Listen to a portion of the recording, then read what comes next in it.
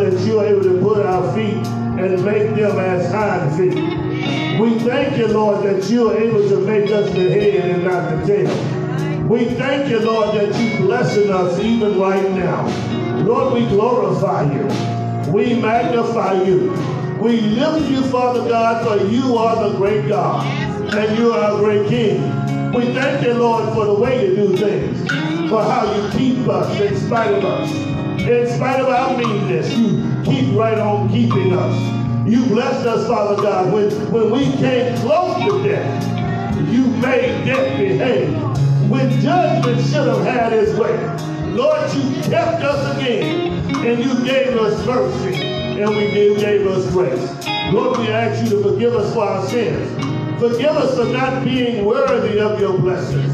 Forgive us for constantly sinning over and over again. Now, Lord, we ask you to bless this moment. Bless this situation. Bless this ceremony. Bless this celebration of Jesus the Christ today. Lord, we thank you, Father, for another opportunity. We know that we don't deserve it, but God, you blessed us one more time. Now, Lord, we ask your Holy Spirit to rip and run throughout this place.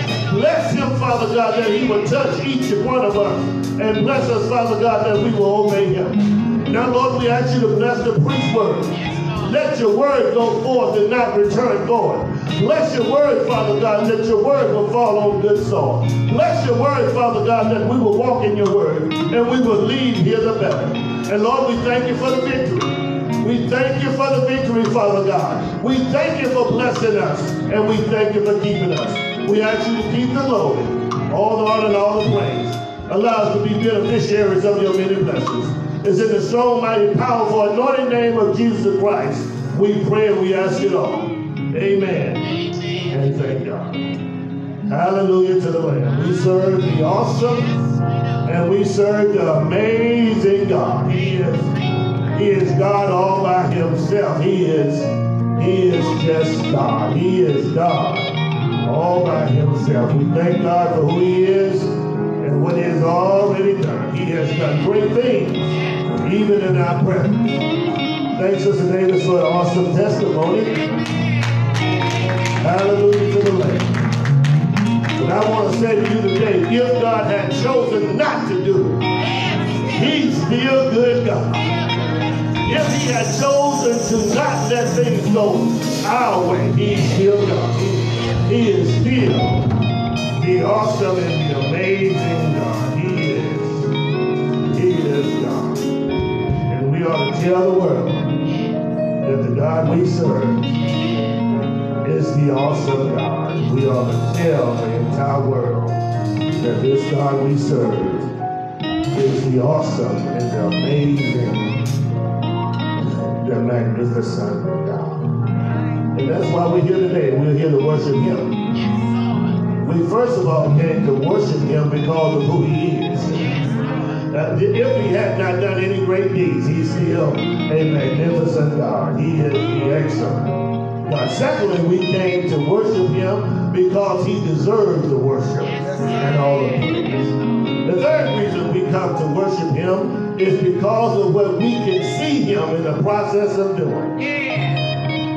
The, the fourth reason why we come to worship Him is that we have come to show our appreciation for who God is and what He's done. And the fifth reason we've come to worship Him today is because God told us to. And we ought to show up to worship, to worship this awesome and this amazing God.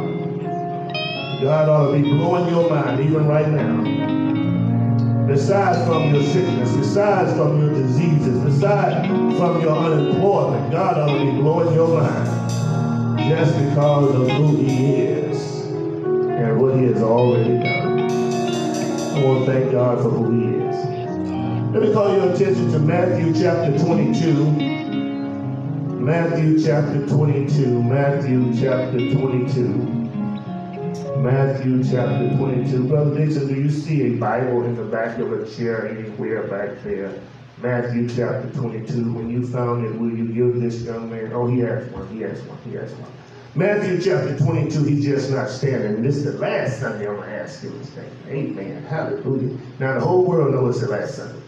Now, Matthew chapter 22, verses 34 through 40. Matthew chapter 22 verses 34 through 40. In the New Testament, the book is St. Matthew. The chapter is 22. The verses are 34 through 40. You know, when we go to court, we stand for the judge to walk in, and we are to certainly stand for God. Matthew chapter 22, verses 34 through 40, when you found it, you will discover these words. But when the Pharisees heard that he had silenced the Sadducees, they gathered together. Then one of them, a lawyer, asked him a question, testing him and saying, Teacher, which is the greatest commandment in the law? Jesus said to him, You shall love the Lord your God with all your heart, with all your soul, and with all your mind. This is the first and greatest commandment. And the second is like it. You shall love your neighbor as yourself. On these two commandments hang all the law and, and the prophets. I want to talk about our second core value. And our second core value is share responsibility. Share responsibilities. For the last three weeks, we've been talking about the four, the, the five, the phase five of our church, the phase five, the five core values of our church. And I've said to you before that regardless of what we do, whether we are cooking pancakes or whatever we are doing, we need to make sure that we hold on to these five core values. The last two weeks, I've been weeks I've been saying to you, the first core value is to protect the unity.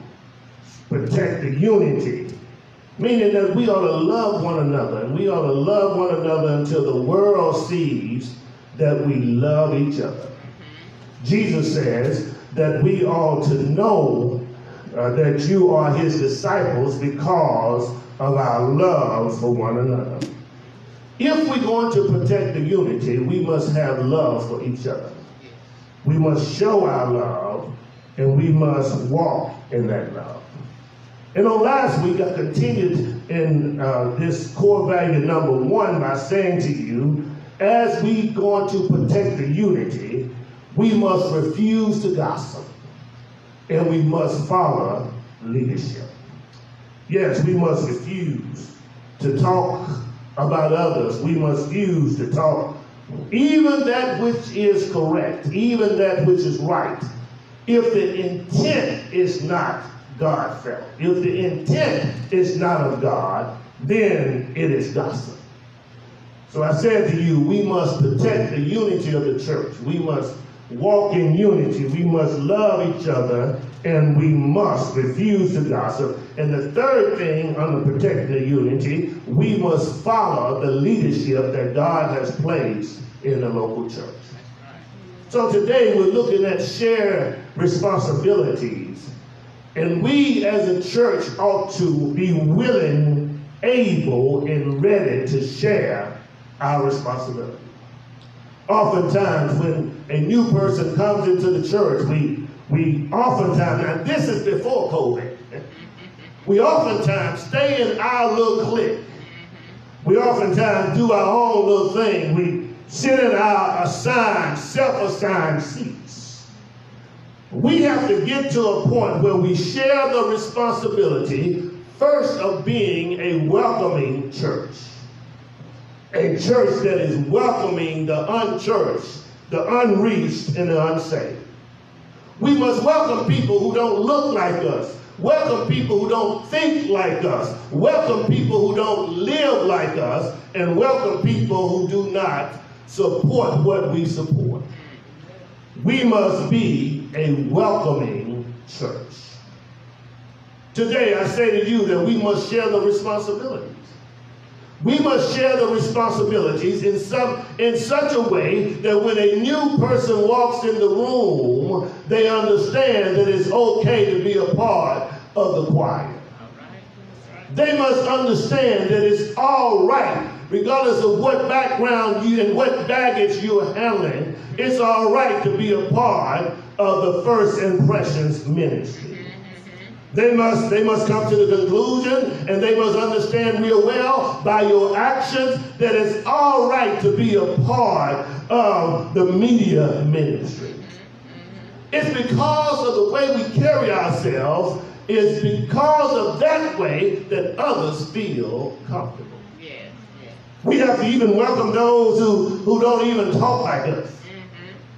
There are some who talk proper and proper. We ought to welcome them. There are some that flat talk ebonics, we ought to welcome them. Right. And there are some that is flat out 100, 100 ghetto. I mean, down to earth ghetto, we ought to welcome. Yeah. We ought to share the responsibilities in such a way that when someone is of a, a faith that they don't believe like we believe, we ought to understand that they are welcome also. No, we're not a, a seeker-sensitive church, but we are a welcoming church. You see, a seeker-sensitive church is a church that rearranges its programs, rearranges its celebration, so those who are not in Christ will fit in. But people who are not in Christ are looking for a church that is honoring God the way God has told us to. Yes, God, God is looking forward. God is looking forward to us being a church that is so welcoming that everybody understands that it is a welcoming church. Not only should we be a welcoming church, we ought to share our church. We ought to share our church.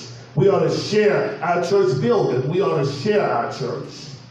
And not all the time we're going to get top dollar for sharing our church. But when you're doing ministry, ministry makes sense because God wants us to share. Too often in, in local church congregations, people act like spoiled brats when they're playing on the playground. I'm going to take my ball and I'm going to go home simply because I'm not having my way. Just so sick and tired. Can I just say that? Can I just tell you the truth? I'm so sick and tired of folk mumbling and grumbling about stuff that really doesn't matter. The next time I hear a person mumbling and grumbling, my question will be, what does that have to do with salvation, sanctification, and glorification? The thing about it is, those who complain are those who are not concerned about salvation, not concerned about sanctification, and not concerned about glorification. But when you get concerned, when you get concerned about salvation, when you get concerned about sanctification, when you get concerned about glorification, you, it will not matter if you have your way you will make sacrifices for God. You will make sacrifices for others. And if you choose not to make sacrifices, you just like the spoiled brat at the age of two that's running around that don't want to share with anybody. God has called our church to welcome others, to go and look for others. When you look at Matthew chapter 22, Jesus is in a gotcha moment. Jesus is in a moment throughout this chapter, the Sadducees and the Pharisees are trying to catch him up. You know, everybody that asks you a question, Brother Miles, is not really asking the question just to get the right answer. In the text, they're asking Jesus questions so they can catch him up. Jesus is talking. And in, the first pericope, verses 1 through 14, Jesus is talking, and he's saying that the kingdom of heaven is like a king that went out and invited men to come to a marriage feast. He sent his servants out, and when he sent his servants out to invite men to come, men had everything else to do to come to this wedding, even though Jesus says the king has made it ready. He went, he sent them out, and when he sent them out, nobody returned with the servants. He sent them out and, and invited them and arranged for, for this marriage and arranged for his servants to call those and invite those to the wedding, and they were not willing. Have Jesus invited you somewhere? Has the king invited you somewhere? and you're not willing to come. I believe, I believe today, I believe right here today, I believe even in the 21st century, even in the month of July, even a year and a half away from the start of the pandemic, people are still using COVID as an excuse. I believe they still using that as an excuse. You know, every person has to do what they are safe with, and every person has to do what they, they are convinced of. But I say to you today, whatever you do, do not refuse to show up where God invites you. I let you decide. I let you decide whether God is inviting you to, to a birthday party, whether God is inviting you to, a, to a, a, a, a gathering at the gym, whether God is inviting you to an HOA meeting, or whether God is inviting you to the church. I leave it to you. But I'm saying don't use COVID 19 as an excuse to do what you want to do and as an excuse to not do what you don't want. I've already concluded. Before COVID came on, God and the devil was the two most lied on beings in the world. If they wouldn't say God told me to do it, they would say the devil made me do it. Now, now, if they didn't come to the conclusion that, that God told me to do it, and there's so many self-made prophets around here. I mean, they're so self-made. They have come to the conclusion over and over and over again that God's been speaking to them. And they want you to believe that God has said some of this foolishness they're talking about. If you did your daily reading in the Sunday school lesson in Romans chapter 1, it deals with the fact that men have turned away to stuff that made sense to God and they've created their own way. And not only have they created their own way, they've come to the conclusion that God is wrong and they're right.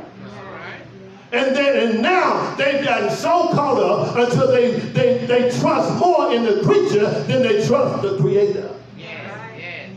In the text, it deals with this. In this first pericope, you find these servants going out and inviting them to come to the, the dinner, inviting them to come to some place been prepared, because verse number four says the oxen and the fatted calves have already been killed. Boy, he had thrown a shindig for them. Sometimes people have come to the conclusion that it's not good enough for me. And because they've come to the conclusion that it's not good enough for me, they just go their own way. It said that they still didn't come. But they made light it. And they went their way. Some went back to their own forms. And others went back to their business. They made fun of the king. Every day, God is inviting us. The king has invited us. If you're saved, he's inviting you to come a little closer. If you're not saved, he's inviting you to get to know him. God is constantly inviting us, and we are still using excuses today as they did in biblical days. Then the rest of them who didn't go back to the farm, the, the rest of them who didn't, didn't go back to business, the rest of them that didn't make light of them, look at verse number six. The rest of them seized the servants, treated them spitefully, and killed them. It's just like it's just like just like everyday life. People will kill you if you welcome them to Jesus. People, people will make light of you and be spitefully using you if you invite them to Jesus. And people will always mistreat you when you are a servant of the Lord. So don't get surprised when you get mistreated. You're not that special. You, you, you, know, God has blessed you and, and God has happened favored you, but you're not that special. Yes. You're not that special. You, God has made you who you are. Right. But when the king heard it, the king was furious. And he sent an army out and destroyed those murderers and burned their city. When the king gets sick and tired, of being sick and tired is going to be far greater than Fannie Lou Hamer sick and tired. Yeah, Fannie Lou Hamer said, I'm sick and tired of being sick and tired, but the fact of the matter is, when God gets sick and tired, when God gets sick and tired of disobedience, when God gets sick and tired, he's going to really be sick and tired. God says the army came. He sent the army and killed the murderers, and when he killed the murderers, he burned their city. And then the servants, then he said to his servants, he says, make the wedding feast ready. And what you do is go to the hedges. Some back home they say go to the hedges and the highways. He says, go to the highways, and when you go to the highways, invite other folk because these jokers weren't worthy. They weren't worthy anyway. So go invite somebody else. And then the Bible says that the dining hall was full. Let me tell you, you can miss your blessing being foolish if you want. You can miss your blessing being disobedient if you want. God never runs out of blessings, and He doesn't mind blessing somebody that will accept His blessing. Too many times, too many times, people think that, that God gonna bless them any old how. And because God is God, He's gonna give me another chance. I just want to try it one more time. Let me tell you, somebody tried it one more time, and that was their last time to breathe. That was their last time for blood to flow the extremities of their body. He moves from, from this scene of the wedding feast. And he moves to the conflict with the Pharisees. And he deals with the fact that they always trying to catch Jesus up. And verse 15 says, the Pharisees went and plotted how they might entangle him in his talk. They wanted to put him to the test. But Jesus recognized how they wanted to put him to the test. So they asked the question in verse 16, they asked the question, teacher, we know, first of all, folk will always tell you what they know about you. Look what he says. He says, he says, Jesus. He says, he says, master. He says, teacher. He says, We know you are true, and you teach the way of God in truth. Nor do you care about anyone. Uh-oh. For you do not regard person of men. Now tell us. Now, after they have told Jesus who he is, after they've told Jesus what Jesus wants, after they've told Jesus how Jesus is not one who respect people and respect persons, respect men, then they said, now tell us therefore, what do you think? Is it lawful to give taxes to Caesar or not? Jesus saw them coming. Jesus recognized what they were doing. So Jesus says, let me see that coin you have there. Whose picture is on this coin and whose writing is on this coin? Their reply was, well, it is Caesar's. Well, render unto Caesar that which is Caesar. And render unto God that which is God. Now we have folk all, all over the world uh, rendering unto Caesar that which is Caesar because they don't want to go to jail. But when it comes to rendering unto God, since God ain't putting them to jail, and he, they don't think he'll be put them in hell, now they don't want to render unto God what is God. So he says, render unto Caesar that which is Caesar, and render unto God that which is God. Don't get the two twisted where you give more to Caesar than you give to God. That you don't re respect the government more than you respect God. Don't you know that God sees everything, God knows everything, and God even knows what you're thinking?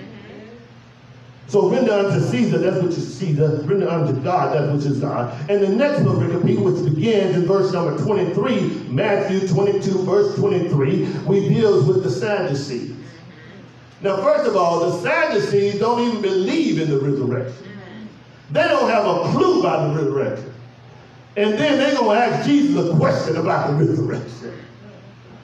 The Sadducees don't believe in the resurrection. They, they don't have a clue about the resurrection. But their question is, Jesus, since Moses said, if a man dies and he doesn't have a baby or a child, he doesn't have a son, he doesn't have a, a offspring by a woman, but Moses says his brother ought to marry. After he dies, his brother ought to marry his widow.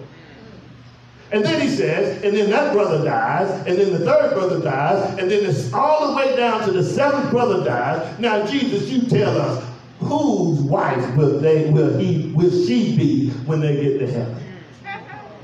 Well, don't you know that there's no giving in marriage and giving and taking of marriage in heaven? Let me tell you something. The reason why we have to focus down here and make sure that every tub sits on its own bottom is because when we get over there, what we know here as a relationship is over. It, it, doesn't matter how much I love Sister Davis. When she get out of here or I get out of here, and she said that I got to stay around here at least to be a hundred. And so when she gets out of here or I get out of here, it doesn't matter who we were married to. That's right. That's right. Jesus says, you don't know the word of God. You don't know the scripture.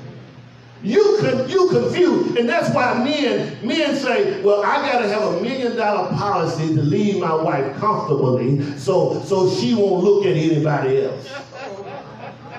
Let me just serve you notice today, brother. You can have a million billion dollar policy and you ought to leave your family well off. And that's what you ought to do. Now, let me tell you something, Brother Dixon. You can get a million dollar policy if you want to and leave it here. That's good. Praise the Lord. He's a good man. He's left something for his children, children. But let me tell you, just because you leave a policy doesn't mean that she ain't going to look at Joe Blow anyway. Because what you leave is for her use and her use only and she can spend it with whoever she want to spend it with. She can go wherever she want to go. The places you telling her she can't go now, she gonna go with your money later. The clothes you think that you controlling her and stopping her from buying, you just leave enough for her to buy a house full of it. Because when you dead, my brother, these relationships that we have down here are over. So that's why God wants us to be the best husbands we can be. The best wives you can be. Be the best children you can be. Because over there, the relationships have changed. So don't even worry about it. Don't, don't get caught up, oh man, I, I, I got to make sure that she doesn't look at anybody else. I, I got to spend all my money so she won't spend it with anybody else. Let me tell you something. When you dead, she going to do what she want to do with it. That's right. Right. That's right. Amen, women? Anything we want to do, some of them say, I'm doing what I want to do with it right now. All right. You got that. I hear you, I hear you. I never been a woman, but I've been around a bunch of them. So he ain't got to lay down and die. I can, I can do what I want to do now. Oh, I, I told you the story. If you heard the story before, act like you never heard it before. Uh, at the funeral, this woman had a mean husband. He was mean. He never gave her anything, never did anything for her. And the last statement that he made before he died, he said, Now look, Sister Davis, Sister Nicole Davis. He said, Look, when I die, I tell you what, you take all my money and put it in my casket. And at the funeral, at the funeral, at the funeral, she honored his request. She wrote a check for $3.5 million. Said, wait a minute, Undertaker. She put the check in the vault and said, close it now.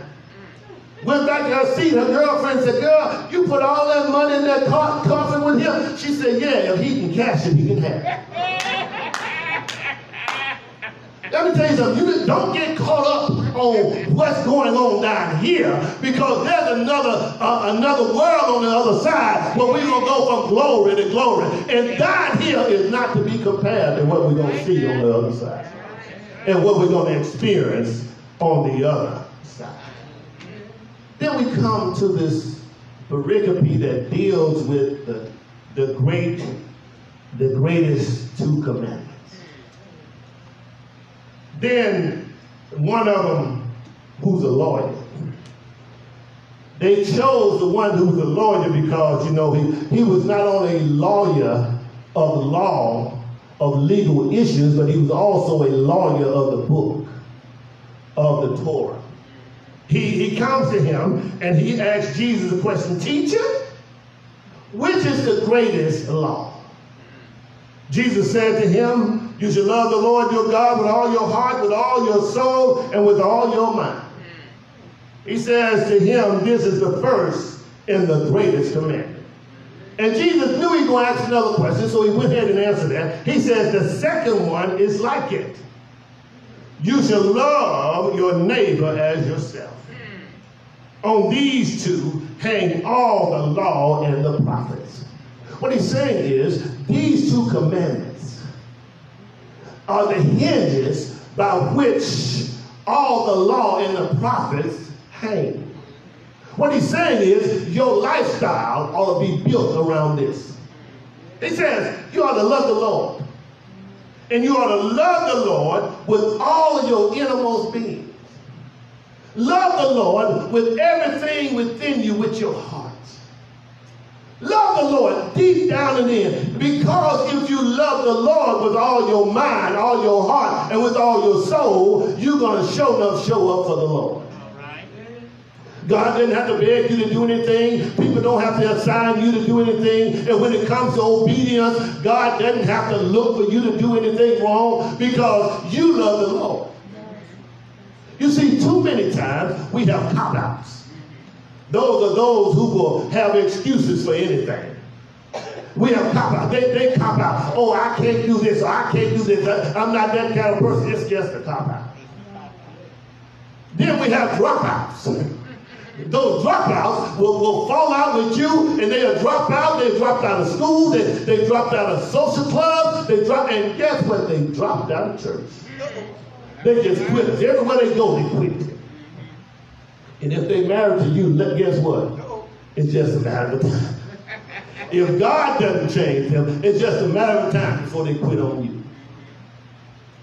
And then, then we have those who are sellouts. The sellouts will do anything for a dollar. The sellouts will, will, will be bribed off any and everything. The sellouts, the sellouts will, will, will, you can give them just a little bit of money and they will turn their back on God and certainly they'll sell you out. But let me just share with you today, God is looking for an all out. He's looking for somebody who's all out working for him, all out working with him, and all out working with his people. God wants you to be all out. Stop walking around making excuses for everything. Every time you complain, you just a cop out, you just a drop out, you, you, you're not all out yet. Just walking around there every day. Some families, some families just fall out with each other. I mean, they just fall, they don't speak anymore, they don't visit anymore. I, I just I just can't handle this. I'm done. There's somebody who had a wedding, and the girl that was a bridesmaid couldn't find the right shoes, and they fell out at the wedding, and now 30 years later they haven't spoken yet. The folk in the audience have forgotten the shoes. Most of them wasn't caring about the shoes anyway. And don't mention if one of the bridesmaids stood in the doorway too long. And the, and the bride figured you were upstaging me. I mean, fell flat out. But when you are a all out for the Lord, it doesn't matter what goes on behind the scene. It doesn't matter what happens. And some folk in church just drop out and drop in. They do just like the club over down in downtown. They, they drop in and drop out. The dude drop in, you heard about that? Oh, you heard him screaming Reed Rooster. The, the dude, they, they drop in, they drop in in church like it's a club. It's like, it's like, oh, I'm this is my day to show up. Well, since it's my day to show up, I'm gonna show up and still mean. Hadn't changed since I've been knowing. They still walking around with their nose up in the air. And then guess what? When they, they drop back in, they want everything to be just like they want. And they complain about the singing. They complain about the ushers. They complain about the parking lot team. They complain about the, the media ministry. And God knows they complain about the preacher. I mean, that should have been number one. I mean, the preacher gonna take a hit every time. But when you turn your heart toward God, when your mind is focused on godly stuff, when your soul is rooted in God, men, women, boys, and girls can tell when you are all out. I submit to you today, be an all out. Don't be a cop out. Don't be a cop out. Don't be a dropout. Mm-hmm. Don't be a sellout. Be an all out. When people look to you and they wonder if you're going to be at the church, they wonder if you're going to be online, they can set their clock to it because you're going to be there. Mm. And you're going to be on time. I called a woman the other day and said, where, where you been? I said, our last conversation was that you were going to miss one Sunday, you know, and then you're going to be back. And said to me, well, you know, I had this. I said, cop out. then I had this. Cop out. And after three cop outs, it needed the one drop out. Because God is looking forward to our hearts if our souls have been changed. If we've been redeemed like we say we have. If we've been changed and washed in his blood.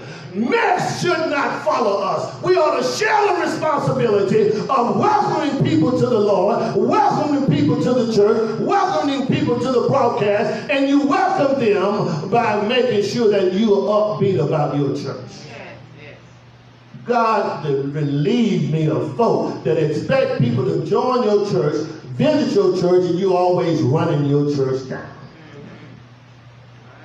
Got to be willing to share the responsibility of others of us. We ought to, first of all, in this shared responsibility, we ought to pray for our church. We ought to pray for it. We ought to pray for our church. We, we ought to have prayer for our church. Every day of your life, you ought to be praying, Lord, bless the New Beginning Church. Lord, bless that church to have power. Bless that church to be a church that, that has growth. Bless this church, Lord, that this church will be a welcoming church to the unchurched, the unreached, and unsaved. Lord, bless this church. My heart is turned toward soul winning. If your heart is turned toward soul winning, your conversation is built around soul winning. Yes. If your heart is turned toward soul winning, your walk is built around winning souls. By now, some of you know that I've just started an amateur bike club. If you want to join, just see me after service or inbox me. I started an amateur bike, bike, bike, bicycle club. And I, I can see Sister Brown now, now up to 10 miles an hour just rolling down the road. I mean, I can see her now. I can see her. Can't y'all see Sister Brown? I mean, I'm trying to catch up with her. She's up to 10 miles an hour. I'm, I'm hanging around 7 miles an hour trying to catch up with her. But even from the perspective of a bicycle club, we have an evangelistic thrust. We want to pray for people. We, we want to, to, to share the gospel with people. We, we want to talk to them about, have you heard of the four spiritual laws? And now I think Sister Henry gonna get her a three book. And she gonna be, she gonna be stretching out. I mean stretching out. They gonna be neck and neck. The two of them gonna be neck and neck. And in the midst of the shared responsibility, we understand that the preacher can't do it all. We understand that the preacher needs your support. We understand that God expects us to be turned so much toward Him until God can bless us regardless of where we go. That's why we're going to be a global club where we go from one neighborhood to the other and share the gospel and pray for people and ask God to bless the church growth.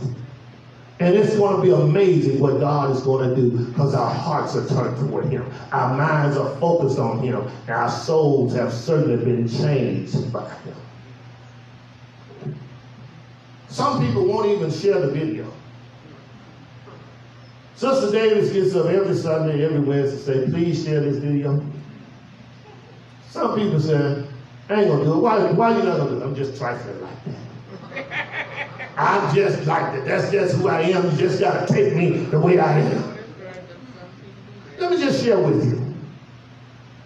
God is looking for growth out of you.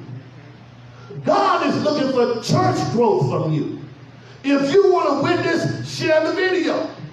And they made it so simple you don't even have to start a watch party anymore. There was confusion for some of you. You just push share, and then you push share now, and bam, it's all over the world. Share the video. Then you ought to share the message that your preacher preached that day, if he's preaching sound doctrine. And then you ought to welcome them to your website. Everybody know the website, www.nbcsouls.org.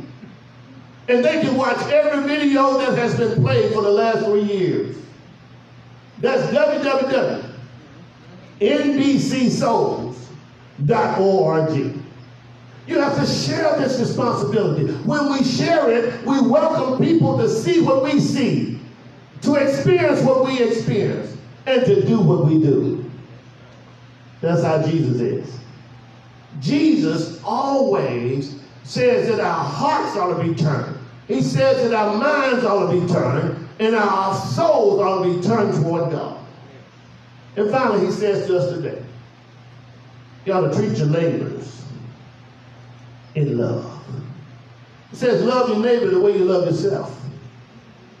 You to, I'm, I'm kind of afraid these days, so many suicides, I'm kind of afraid to say love your neighbor like, like you love yourself. Some folk don't love themselves.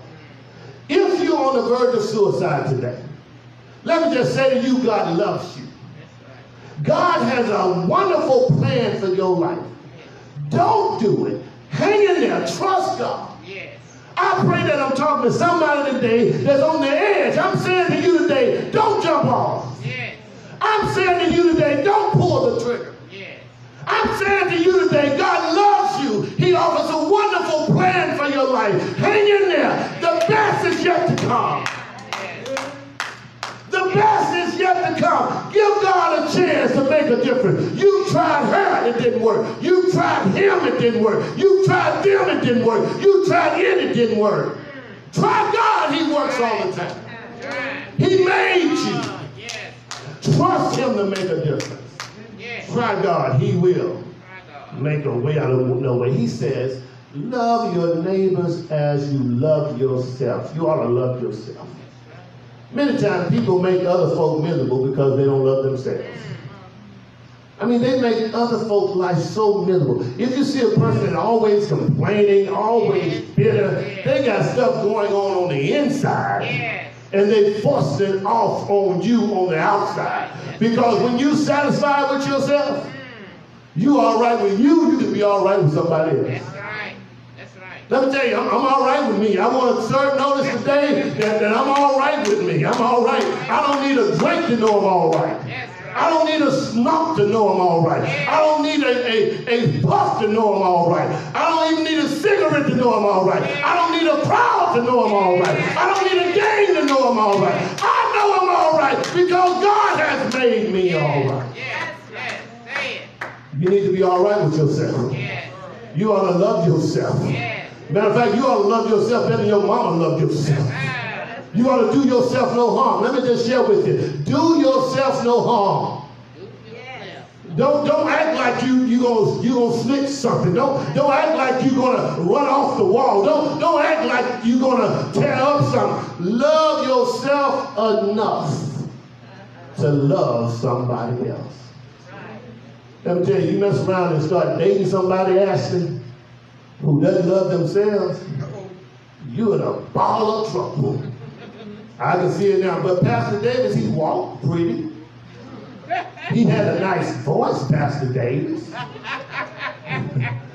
He had both legs, Pastor Davis. I mean, I just love his legs. I'm gonna say, Ashley, does he love the Lord? What church he goes to? Does he sleep in church? Is he excited about the Lord? If he cannot fill out any of these as yes, leave him alone, give him 50 feet to the left, to the left, get out of his way because he doesn't love himself. Any man that loves himself loves the Lord because God is love and love comes from God. Yes. We must share respons- responsibility. We must share the responsibility of loving other people to Christ. We can't force them to Christ. We have to love them to Christ. We have to show them that we love, love Christ. And, they see God's love rolling through us. And they, they'll see every day that you wake up. You don't have to have a smile on your face, but they know that there's something on the inside that's working on the outside. And you know, you, when you go through tough times, they know that there's something on the inside working on the outside. They will find out that the greater one is in you than in all the world. Who is the greater one? His name is Jesus. He's the one that took a tree and, and died for you and me. He's the one that went up Calvary's hill. He's the one that gave his life for you. And let me tell you, Jesus died for you. Had it not been anybody else on planet earth but you, Jesus would have died for you. He loves you that much. He died for you. They laid him in a borrowed tomb. He rose early that third day morning with all power in heaven and earth in his hand. Jesus shares with us the responsibility of loving people to the kingdom. I say to you today, trust Jesus. Hang on to core value number two. Share the responsibility of welcoming people to this household of faith. Welcoming people to Jesus Christ. The door of the church is open. The invitation is extended. You ought to come to Jesus just as you are. The door is open. Trust Jesus. If you've never received Jesus as your personal Savior, this is your moment. This is your opportunity. The door is open. Will you try Him? Will you trust Him? Will you come and trust Jesus?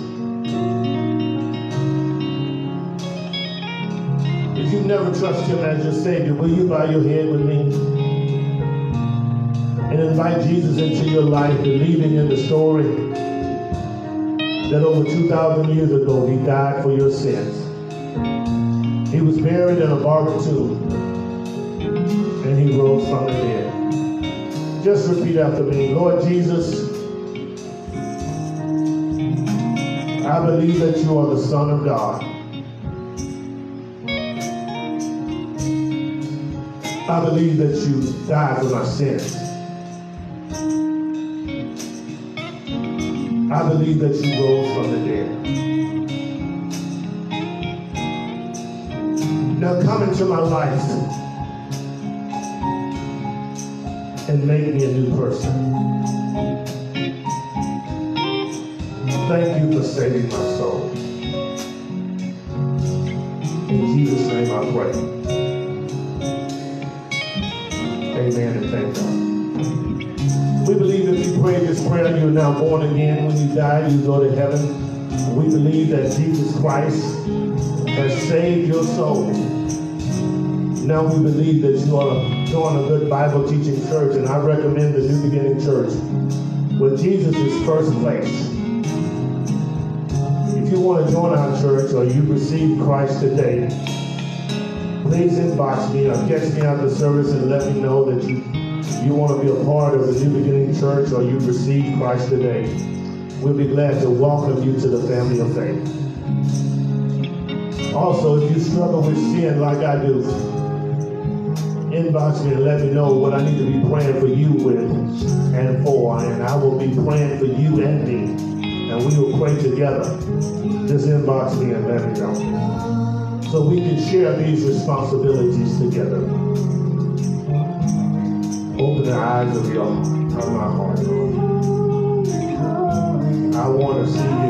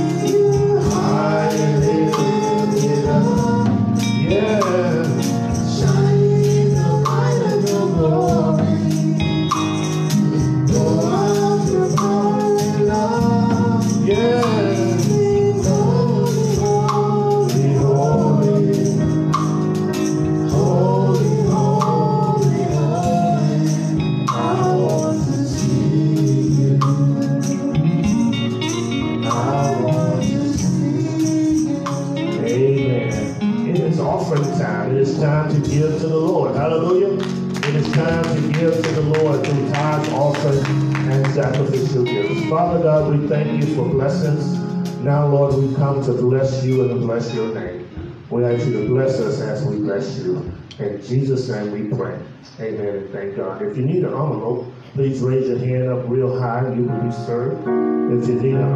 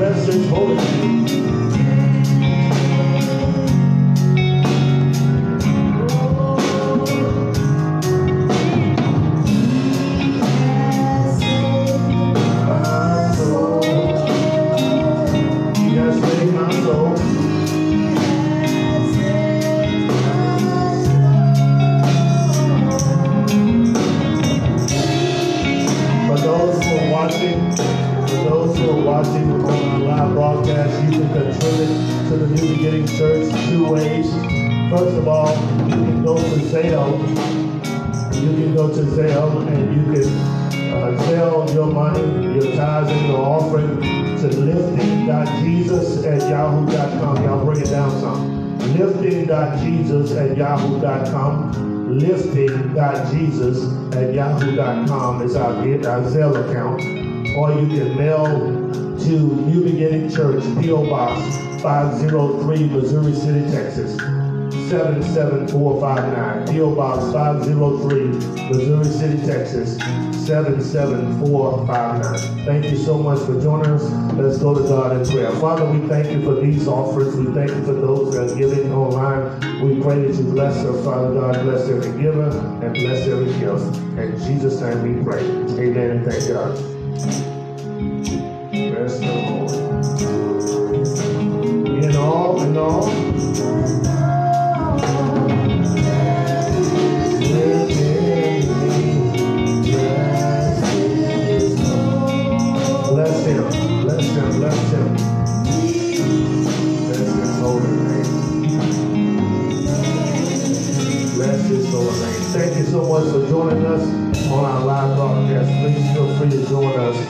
Sunday morning at 10:30 a.m. 10:30 a.m. every Sunday. Thank you so much, and God bless you and God keeps you. Is our prayer.